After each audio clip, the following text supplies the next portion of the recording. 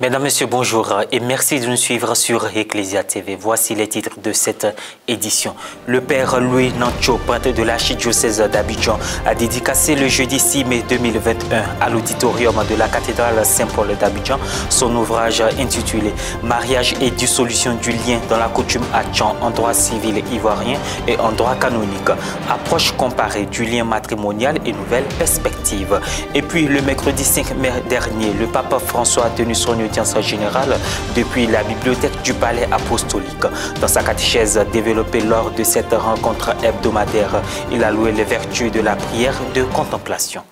Bienvenue à tous. Ce jeudi 6 mai 2021 s'est déroulé à l'auditorium de la cathédrale Saint-Paul d'Abidjan-Plateau la cérémonie de dédicace de l'œuvre du père Louis Noncho, prêtre de l'archidiocèse d'Abidjan, intitulée Mariage et dissolution du lien dans la coutume Tchan en droit civil ivoirien et en droit canonique. Approche comparée du lien matrimonial et nouvelles perspectives. Selon l'auteur, cet ouvrage composé de 440 pages se veut une réflexion approfondie sur le mariage et son éventuelle dissolution dans le contexte africain, notamment au regard des différents droits qui le régissent.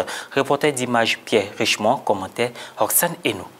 La cérémonie de présentation et de dédicace de l'œuvre intitulée Mariage et dissolution du lien dans la coutume Hatchan en droit civil ivoirien et en droit canonique, approche comparée du lien matrimonial et nouvelles perspectives du père Louis Akwacha Nancho, prêtre de l'archidiocèse d'Abidjan, s'est tenu le jeudi 6 mai 2021 en présence de nos seigneurs Paul Dacoury Tablé, évêque émérite de Grand Bassam, président de cette cérémonie, et Marie-Danielle Dadier, archevêque émérite de Korogo.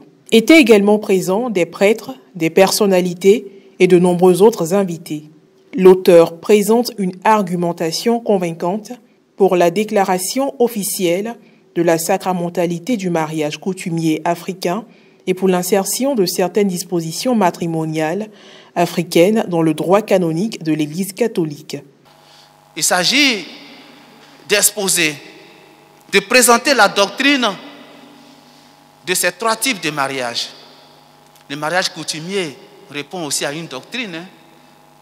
Nos valeurs coutumières sont aussi des dispositions, des réalités. Le mariage civil aussi, le mariage religieux. Alors il s'agissait de présenter ces différents types de mariages et dire un peu ce que ces mariages représentent, ce que ces mariages signifient. Donc là, vous trouvez cela dedans, le mariage coutumier, Achan, je parle de chez moi, de ma culture, le peuple brillé, comment ce mariage-là est tissé et qu'est-ce que ça signifie, tout ce qui concerne le mariage coutumier Achan. Ensuite, le mariage civil, le mariage et le mariage religieux. Donc je présente les différentes dispositions, j'explique un peu ce que sont ces différents mariages.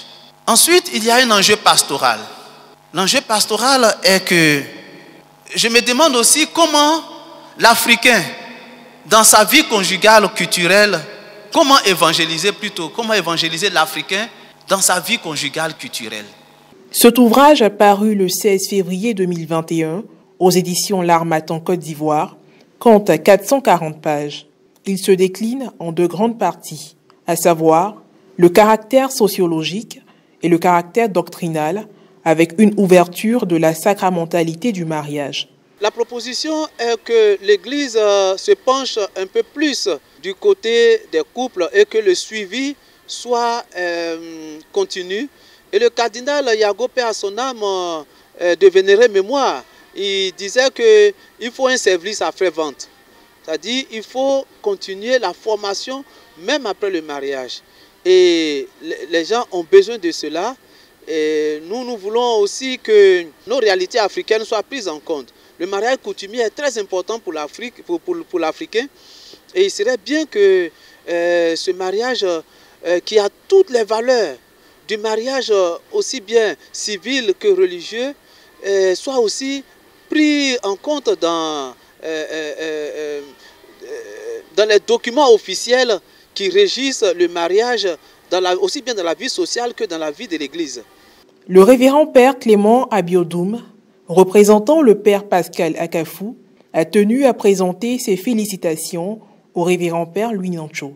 Originaire du peuple Hatchan, autrement dit ébrié, cette réflexion mise en page s'adresse aux chrétiens, non-chrétiens et chercheurs de différents domaines qui sont souvent amenés à modéliser des systèmes. Impression au terme de la séance de dédicace. C'était une très belle cérémonie. J'ai beaucoup apprécié euh, surtout les réflexions profondes euh, qui découlent euh, de cette recherche. Je pense que, comme il a souhaité lui-même, il faut que l'Église catholique approfondisse cette question et que l'on puisse essayer d'apporter des solutions à travers les suggestions qu'a pu faire le Père Lunancho. Nous avons vécu une cérémonie dont le thème était sur le mariage et par rapport à ce que euh, le Père Nunacho nous a dit, par rapport à la sacralisation du mariage, qui est difficile dans l'Église catholique, nous pensons que sa proposition sera acceptée par l'Église catholique. Par rapport à ce que déjà nos vieux parents ont vécu euh, au village. Pour ceux déjà qui avaient deux ou trois femmes. Le Père curé, Louis Nancho, est dans la tradition. Il est dans la tradition parce qu'il est africain, un. Il ressent ce qu'il voit et par les écrits, aujourd'hui, il a mis par les écrits. Je pense que c'est une très bonne chose et c'est une bonne réflexion. Que Dieu le bénisse davantage, qu'il continue dans cette euh, ligne pour que l'Afrique, la manière dont il a réfléchi, qu'il a pensé, qu'il a écrit ce livre, que les Africains prennent compte de notre tradition pour l'Église euh, catholique euh, en Afrique et tout précisément en Côte d'Ivoire. Né en 1963 à Abidjan, à Djamé, en Côte d'Ivoire, Louis Akwacha Nancho est prêtre catholique de l'archidiocèse d'Abidjan. Il est vicaire judiciaire au tribunal ecclésiastique d'Abidjan et professeur de droit canonique à l'Institut catholique missionnaire d'Abidjan ICMA.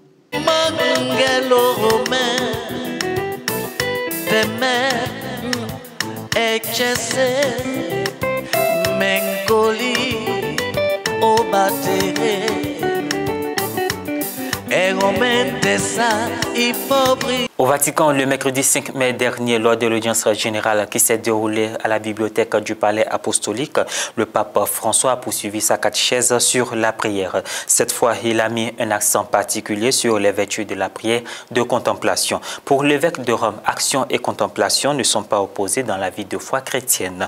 La contemplation est un moyen de purification du cœur.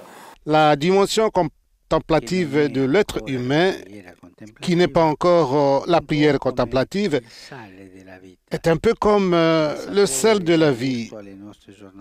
Elle donne euh, de la saveur, elle donne du goût à nos journées. On peut contempler en regardant le soleil qui se lève le matin les arbres qui redeviennent verts au printemps, on peut contempler en écoutant de la musique ou les chants des oiseaux, en lisant le livre, devant euh, une œuvre d'art ou devant ces chefs d'œuvre, un visage humain. Carlo Maria Martini, envoyé comme évêque à Milan, intitula sa première lettre pastorale La dimension contemplative de la vie. En effet, ceux qui vivent dans une grande ville où tout est artificiel et fonctionnel risquent de perdre la capacité de contempler. Contempler n'est pas avant tout une manière d'agir, mais une manière d'être. Fin de cette édition. Merci de nous avoir suivis. Merci de rester sur Ecclesia TV.